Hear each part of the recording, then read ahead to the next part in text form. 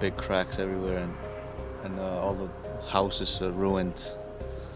It's uh, it's very sad because I'm born and raised there.